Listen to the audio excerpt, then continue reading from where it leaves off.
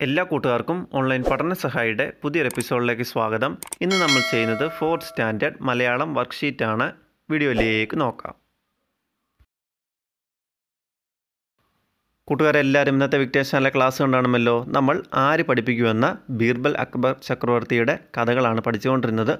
അതുമായി ബന്ധപ്പെട്ട് നമുക്കിന്ന് നാല് പ്രവർത്തനങ്ങൾ ചെയ്യാൻ നൽകിയിട്ടുണ്ട്. ഒന്നാമത്തതായി കഥ എഴുതിയ ജി മോഹനകുമാരിയുടെ ജീവചരിത്രക്കുറിപ്പ്. രണ്ടാമതായി ആശ്ചര്യചിഹ്നം ചോദ്യചിഹ്നം എന്നീ ചിഹ്നങ്ങൾ വരുന്ന വാക്യങ്ങൾ പാഠഭാഗത്ത് നിന്ന് കണ്ടെത്തി എഴുതുക. മൂന്നാമതായി ഒരു ബീർബൽ കഥ വായിച്ച് അതിന്റെ വായനക്കുറിപ്പ് തയ്യാറാക്കുക.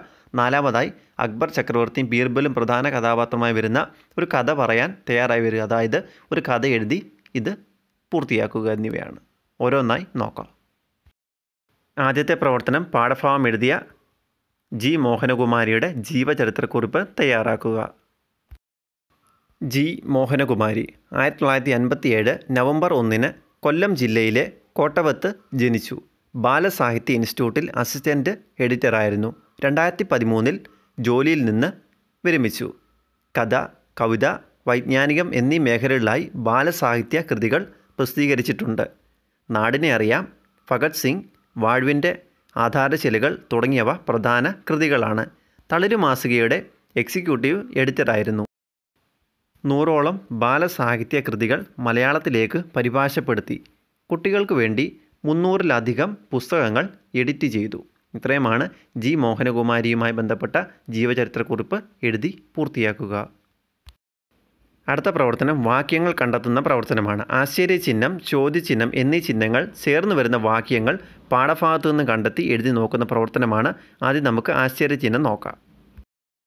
പാഠഭാഗത്ത് ആശ്ചര്യചിഹ്നം ചേർത്ത് വരുന്ന വാക്യങ്ങൾ ഇവ മൂന്നെണ്ണമാണ്. എല്ലാത്തരെയും ആൾക്കാരെയും കൊണ്ട് ഹാൾ നിറഞ്ഞിരിക്കുന്നു ആശ്ചര്യചിഹ്നം.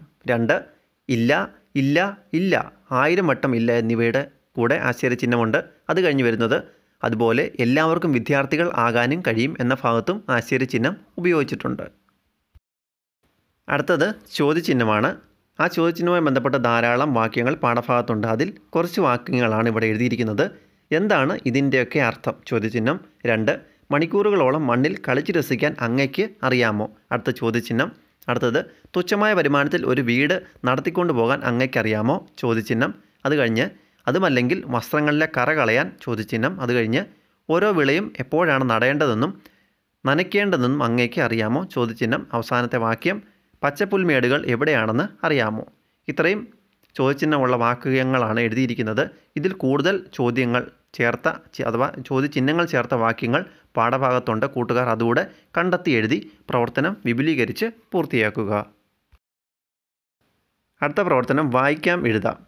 മറ്റൊരു ബീർബൽ കഥ കൂടി വായിച്ച് വായനക്കുറിപ്പ് തയ്യാറാക്കാനാണ്. ഒരു വായനക്കുറിപ്പ് തയ്യാറാക്കുമ്പോൾ കഥ വായിച്ചിട്ട് അതിന്റെ സംഗ്രഹമാണ് വായനക്കുറിപ്പിൽ ഉൾപ്പെടുത്തുന്നത്. വായനക്കുറിപ്പ്. ബീർബൽ കഥകളിൽ പ്രശസ്തമായ കാക്കകൾ എത്ര എന്ന കഥയുടെ വായനക്കുറിപ്പാണിത്. ഒരിക്കൽ ബീർബലിന്റെ ബുദ്ധിശക്തി പരീക്ഷിക്കാനായി ഡൽഹിയിൽ എത്ര കാക്കകളുണ്ടെന്ന് പറയാൻ അക്ബർ ചക്രവർത്തി ബീർബലിനോട് പറഞ്ഞു. ചക്രവർത്തിയുടെ ഉദ്ദേശം മനസ്സിലാക്കി ബീർബൽ പറഞ്ഞു അറുപത്തിനായിരത്തി അഞ്ഞൂറ്റി അൻപത്തി രണ്ടെന്ന് ഈ കണക്കിൽ ഏറ്റക്കുറച്ചിലുകൾ ഒന്നുമില്ലേ എന്ന് അദ്ദേഹം ബീർബലിനോട് ചോദിച്ചു. അതിനു ബീർബൽ ഇങ്ങനെ മറുപടി പറഞ്ഞു ഇതിലേറെ ഉണ്ടായാൽ അത് ബന്ധുക്കളും ചെങ്ങാതികളും വിരുന്ന് വന്ന് താമസിക്കുന്നവരും ഒക്കെ ആയിരിക്കാം എന്നായിരുന്നു ബീർബലിന്റെ മറുപടി. കുറവായാൽ ഇവിടെയുള്ളവർ വിരുന്ന് പോയതായിരിക്കുമെന്നും പറഞ്ഞു. ഈ ഉത്തരം ചക്രവർത്തിയെ പ്രീതിപ്പെടുത്തി. ഏത് ചോദ്യത്തിനും ബുദ്ധിപൂർവം മറുപടി എങ്ങനെ പറയാമെന്നതിന് മികച്ച ഉദാഹരണമാണ് ഈ കഥ. ഇതുപോലെ കൂട്ടുകാർ ഒരു ബീർബൽ അക്ബർ ചക്രവർത്തി കഥ വായിച്ചിട്ട് അതിന്റെ സംഗ്രഹം മനസ്സിലാക്കി ഒരു വായനാക്കുറിപ്പ് എഴുതുക.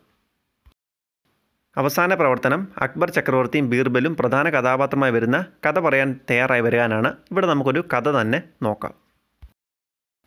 കഥയുടെ പേരിതാണ് ആരാണ് നിർഭാഗ്യവാൻ. ഒരു ദിവസം വൈകിട്ട് രാജസന്നിധിയിൽ പോയ ബീർബൽ ഒരു ദുഃഖകരമായ കാഴ്ച കണ്ടു. രാജസന്നിധിയിൽ രാജാവ് നാട്ടിലെ ഒരു പാവം ചെറുപ്പക്കാരനെ ശിക്ഷിക്കുന്നു. ഉടൻ തന്നെ ബീർബൽ രാജാവിനോട് ചോദിച്ചു എന്താണിത്? രാജാവ് പറഞ്ഞു ഈ മനുഷ്യന്റെ പേര് മാധവൻ എന്നാണ്. നമ്മുടെ നാട്ടിലെ ഏറ്റവും നിർഭാഗ്യവാനായ മനുഷ്യനാണ് ഇദ്ദേഹം. ഇദ്ദേഹത്തെ കണി കണ്ട് ആരെന്ത് ജോലി ചെയ്താലും അന്നത്തെ ദിവസം ആ വ്യക്തിയുടെ ജീവിതത്തിൽ അത് കുഴപ്പം മാത്രമേ ഉണ്ടാക്കൂ രാജ്യത്തിലെ പ്രജകളുടെ പരാതി കാരണം നോം ഇന്നലെ ഇവനെ കൊട്ടാരത്തിൽ കൊണ്ട് താമസിപ്പിച്ചു. എന്നിട്ട് രാവിലെ ഞാൻ ഇവനെയാണ് കണി കണ്ടത്. അത് കഴിഞ്ഞ് രാജ്യത്തെ ജോലികൾ ചെയ്യാനായി തുടങ്ങിയത്. എന്നാൽ എനിക്ക് രാവിലെ മുതൽ വൈകുന്നേരം വരെ വളരെ കഷ്ടപ്പാടുകൾ മാത്രമേ ഉണ്ടായുള്ളൂ.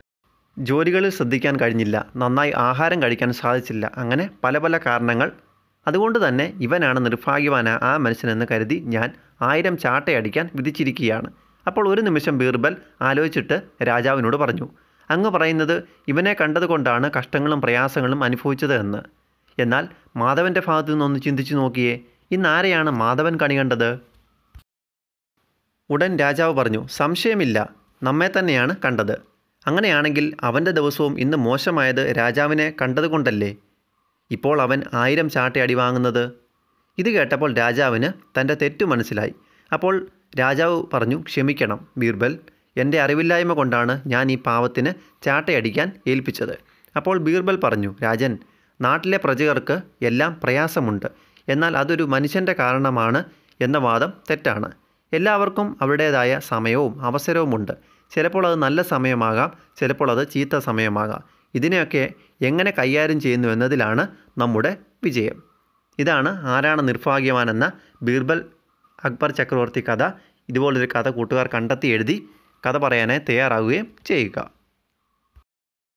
ഇന്നത്തെ വർക്ക്ഷീറ്റ് ഇവിടെ കഴിയുന്നു. എല്ലാ കൂട്ടുകാർക്കും നന്ദി. Like share subscribe and do support